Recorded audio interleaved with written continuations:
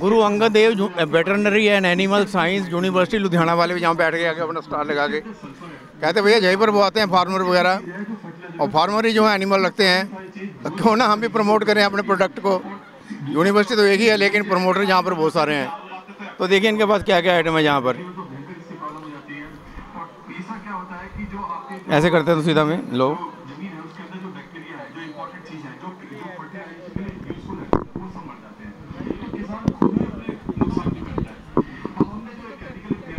देखो, मजरोला चीज़ है इनके पास। चिकन मीट बिस्कुट भी है इनके पास। चिकन नट्स भी है इनके पास। चिकन मीट का चूरा भी है ना गोल भाई। इमू का तेल भी है जी। इमू का तेल की कम करता है जी। ये इमू का तेल क्या काम करता है? किस काम आता है ये?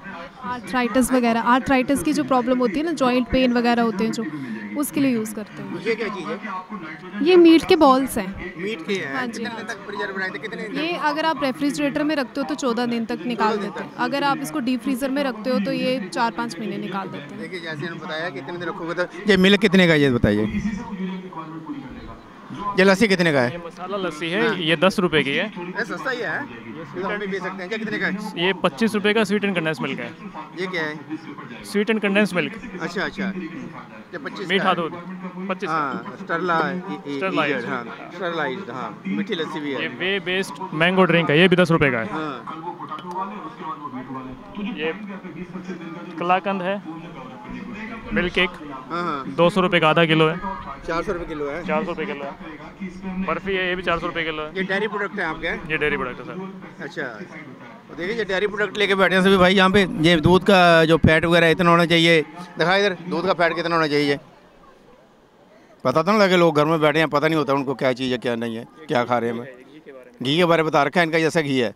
बाकी तो लिखते नहीं है जो लिख के बैठे हैं। पीछे पनीर भी दिखा दे यार। तीन सौ रुपये किलो मिलता है दो सौ पैंसठ रुपये किलो।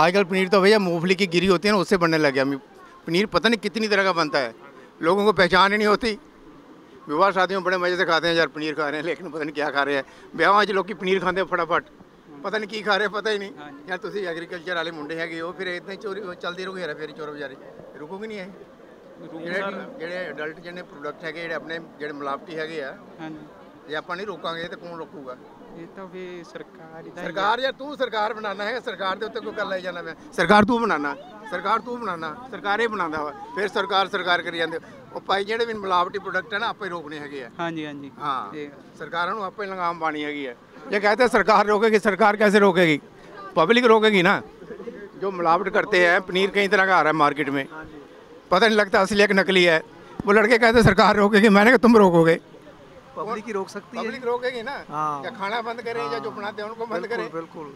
पब्लिक का ही फ़र्ज़ हाँ, बनता है। लोग कहते हैं कि सरकार सरकार के ऊपर जिम्मेदार डालते हैं। नहीं नहीं सरकार तो आप बैठे ही हो आप क्या करोगे? पब्लिक जब खा रही है पब्लिक जब देख नहीं रही उसको पता होना चाहिए। देखते हैं वो। उसको पता होना चाहिए कि कौन सा प्रोडक्ट कैसा है। हाँ। और वही जब वो नहीं खरीदेगी वो अपने आप नकली माल बंद हो जाएगा। कहाँ से नकली मिलता है कहाँ से असली मिलता है। हैं कौन से होटल में प्रोग्राम कर रहे हैं हाँ। कौन का पैसे कम ले रहा है तीन सौ रुपये की चीज़ या दो सौ रुपये होटल वाला दे रहा है इसका मतलब है वो भाई घटिया माल दे रहा है। चलो ठीक है सर हमने आपका दुकान वगैरह देखा अब तो ये कहेंगे हम लोग फ़िश वाला भी इनके पास है। फ़िश वाले लड़के तो रोज़ वहाँ पर धरना लगा के बैठे रहते हैं। लेकिन फिर भी चलो आप लोग यहाँ पर आज उनका प्रोडक्ट कर रहे हैं। चलो ठीक है ये हमारा कार्ड रख लो। हैं?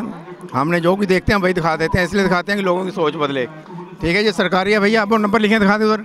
वो दो नंबर लिखे हैं। वो वो दो नंबर दिखा दे किसी के भी हो।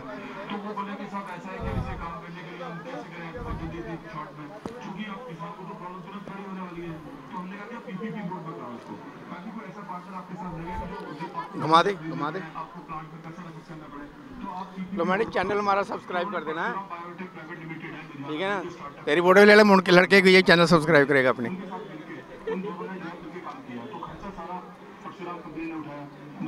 धन्यवाद दोस्तों